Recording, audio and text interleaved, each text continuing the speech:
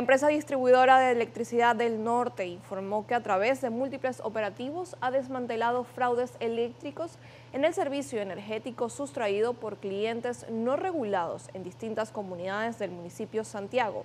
Edenorte precisó a través de un comunicado que sus brigadas actuaron en localidades como el barrio 27 de febrero, Monterrey, Pastor y San Miguel. Además, en las comunidades Ciudad de Dios, La Emboscada, Villa Rosa Tercera, El Manguito, La Cereza y La Mina. Además, establecen que ha dado inicio a una jornada de concientización a esos clientes para que comprendan la importancia de disponer de un servicio energético regularizado.